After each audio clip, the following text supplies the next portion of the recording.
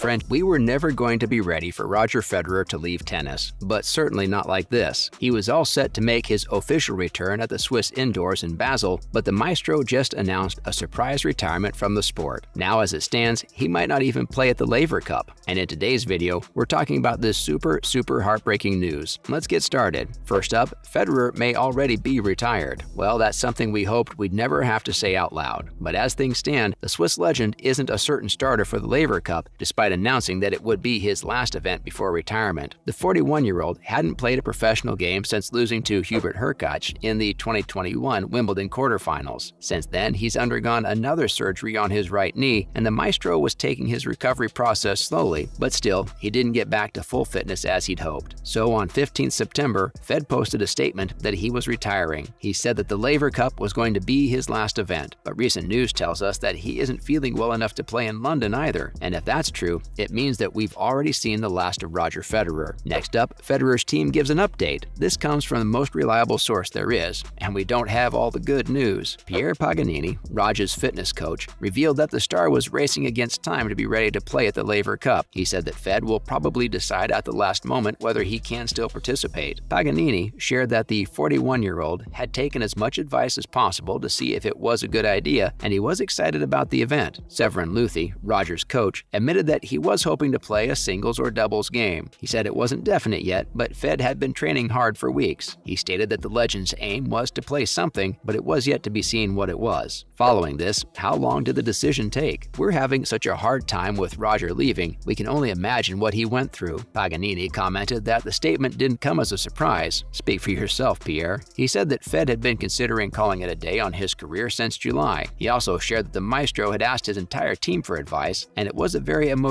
moment, but it was discussed soberly. After all, it was a super important decision, one that players only made once in their life. Paganini revealed that Rog had deep emotions about it, and he showed them too. We can only imagine what a hard yet comforting conversation that must have been. We couldn't be prouder of Federer. Coming up, what has Rog said about this? As it turns out, he's actually at peace with his decision. He shared that he plans to bring his career to a close with Rafa Nadal at the Laver Cup. Fed said that he knew it was the right decision to walk away from tennis at this stage. Previously, the 20-time Grand Slam champion has shared that there's no point in playing if you can't be competitive anymore, and it seems like this was the moment he realized that. Also, he stated that tennis was only a part of his life, not his whole life, and he was looking forward to having some free time and being closer to his family. Now, Rog said that it took him some time to get used to the idea of not playing tennis professionally anymore, but he knew it was something he needed to do. Moving on, Nadal shows up for Federer. Folks, imagine having a rival like this. Rafa, who's going through a lot in his personal life right now, put everything aside to show up in London for Roger's final match. If that's not true friendship, we don't know what is. After Fed posted his statement, Rafa was one of the first people to respond. He commented that he had hoped this day would never come, and it was a sad day for him personally. You and all of us, Rafa. But he was there when his biggest rival needed him. Fedal graced the O2 for the last match on 23 September, the last game of Federer's career. Needless to say, it was a super special moment. The pair was up against Team World's Frances Tiafoe and Jack Sock. While the veterans managed to take the first set pretty comfortably, the second set went to their opponents, and then the match tiebreak also didn't go their way. But it didn't, for a second, feel like a loss. It was all celebrations for the Swiss maestro and his one-of-a-kind career. Up next, Roger Federer says goodbye. Where do we even begin? As soon as the match ended, everybody in the arena came to their feet for the Swiss legend. Understandably, the emotions in the stadium were running high. Fed was in tears, as were his teammates, as was the sold-out crowd. The 41-year-old took a few laps of the court and waved to the crowd, while tributes were pouring in from every corner of the world. Moments later, Rog walked toward his one final interview with Jim Courier. He started by saying, We'll get through this somehow, won't we? He talked about how special the night had been for him and that he wasn't sad, he was happy. He said he wanted it to be a celebration, and it had been exactly that. The 20-time major champion thanked Rafa and the rest of his team for being there. And folks, every single person who was watching this historic moment was emotional. Finally, Federer talks about his family. Courier asked Rog about his family, and that's when he completely broke down. He said that he was forever grateful for his wife Mirka, who had allowed him to play till now. She could have stopped him a long, long time ago. He thanked his parents and stated that nothing would have been possible without them. Afterward, his entire family came out, and it was a sight to behold. He embraced Mirka for the longest hug and told his kids that he wasn't sad. Everybody was in tears, and it was the perfect goodbye for Roger Federer. Now, we never would have been okay with the maestro Leaving, but we're glad it all came to a close like this surrounded with just so much love. His teammates had only wonderful things to say about him. In his speech, Fed said that he had always thought he was a team player at heart, so it was super nice to see that he had so many people around him for his farewell. It's what he deserved. And now that he'll never play on the tour again, let's all come together and celebrate the greatest player ever to pick up a racket. There will never be another like you, Rog. Thanks for everything. Now, let's move on to some other related news. First up, Emma Raducanu withdraws from the Transylvania Open. The 2021 US Open champion has been struggling a lot recently. Ever since her record-breaking Grand Slam victory, she hasn't been able to find her groove. Not only has she not been in the best form lately, she's also had to deal with quite a few injuries. Just a week and a half ago, she withdrew from her Korea Open semifinal against Elena Ostapenko with a wrist injury, and that same problem will also keep the 19-year-old out of the Transylvania Open, which was scheduled to be her last WTA Tour event of the season. Still, fans are keeping their fingers crossed that she'll be ready to play for Great Britain in Glasgow next month. Next up,